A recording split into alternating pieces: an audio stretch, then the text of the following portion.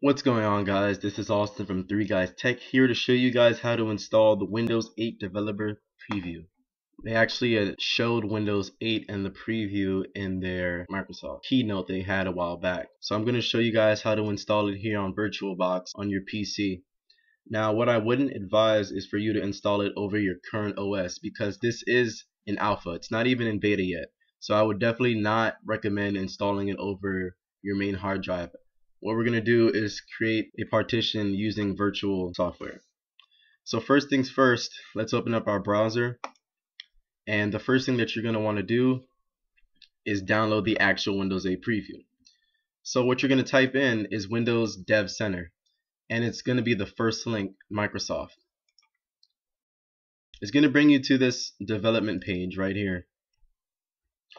To download the preview, just click get started over download Windows Developer Preview. Now it comes with two versions. You can either, well three versions, excuse me. You can either get the Windows Developer Preview with developer tools. We will not be needing that. That's if you want to create software for it and different apps. What we're going to want to get is the 64-bit version or the 32-bit version. Now the 64-bit version is 3.6 gigabytes while the 32-bit version is 2.8 gigabytes. I would actually recommend getting the 32-bit versions just for simplicity. Now, first of all, it's uh, it takes up less space on your hard drive, and you are less likely to encounter compatibility issues. So let's go ahead and download this, and it'll start downloading here. Now, the next thing you guys are going to need after you download the actual preview itself, you're going to want to go to virtualbox.org. Now VirtualBox is free virtualiz virtualization software that you guys can use to run Windows 8 under. Now to download it, just go under downloads and you can get the um, the download from this page. Under VirtualBox binaries, you'll see 4.1.2 for Windows hosts and that's what you want to download. After you download that, you're going to want to install it. Once you install it, you might have to restart your computer, but once you install it, you'll see this icon on your desktop. So you're going to see Oracle VM VirtualBox. You're going to want to open this right now. And again, this is the program that we're going to be using to run the Windows 8 developer preview in. Now first things first, you're going to want to create a new virtual machine. So let's click new. It's going to say welcome to the new virtual machine wizard. Just click next. Now, here's what you want to do. The name, you can either type in Windows 8 or Windows 8 Preview. I'm going to go with Windows 8. Now for the operating system, you want to keep it under Microsoft Windows. And for the version, you're going to click Windows 7. Now I'm installing the 64-bit. If you have the 32-bit, you can go ahead and click the Windows 7 with no bit after it. So I'm going to go ahead and click the 64-bit version. This is an important part. Click the Windows 7 and then you're going to want to click next. Base memory. Well, the minimum requirements for Windows 8 is that you have 1 gigabytes of RAM for the 32-bit version and 2 gigabytes of RAM for the 64-bit version. I have 8 gigabytes of RAM on my computer, so I'm going to go ahead with 3 gigabytes of RAM. So that's 3072 megabytes. And going to go ahead and click next.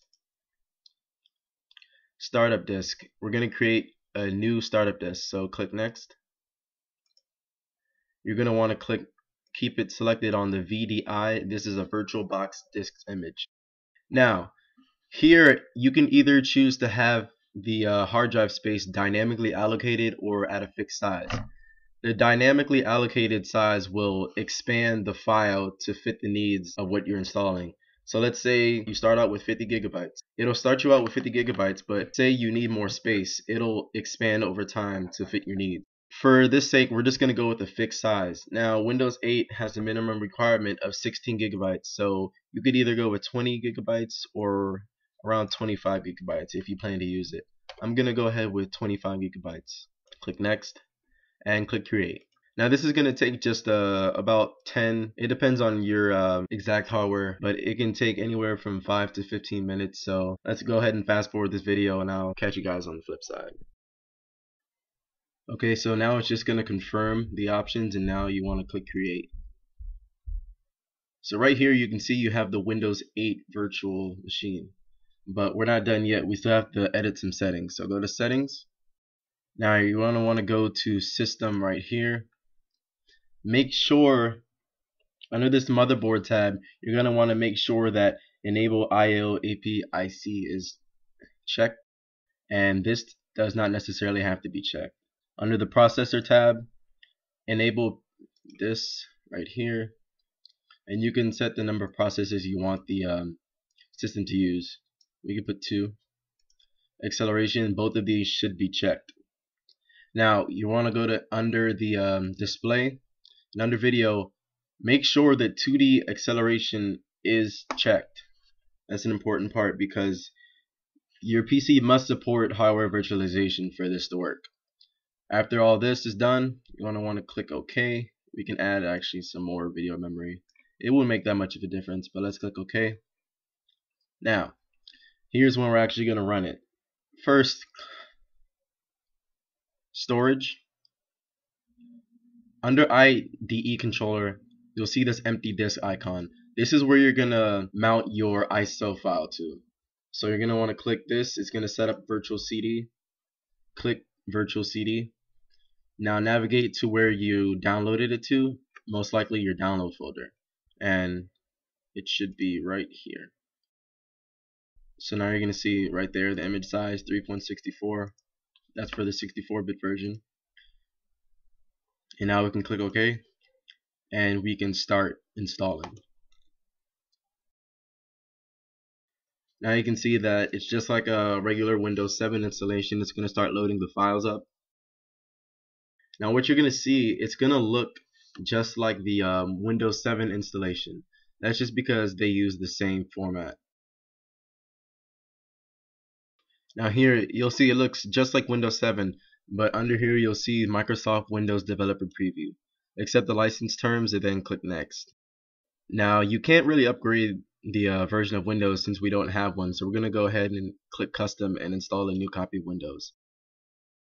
Now right here you should see disk 0 unallocated space and you should see the um, amount of space you allocated. See I allocated 25 gigabytes so that's what I see here. That's the free space. So I'm gonna go ahead and click that and click next. So now you can go grab your popcorn and sit back and relax because it's going to take a pretty decent amount of time for it to install. So right now it's just going to basically be preparing all of the setup files. So I'm going to go ahead and fast forward through all of this. I think it's going to restart the computer about a couple couple times and then you should be getting ready to get into the actual OS and setup. So now we are at the, uh, the start menu of Windows 8 and you should be able to run all of the apps from Windows 8 so there you have it. You can now use the Windows 8 Developers Preview. Now this can just give you a little sneak preview of what the beta is going to look like and what the actual OS is going to look like. If you like this video, you can go ahead and give it a thumbs up. And as always, don't forget to comment, rate, and subscribe. And I'll see you in the next video.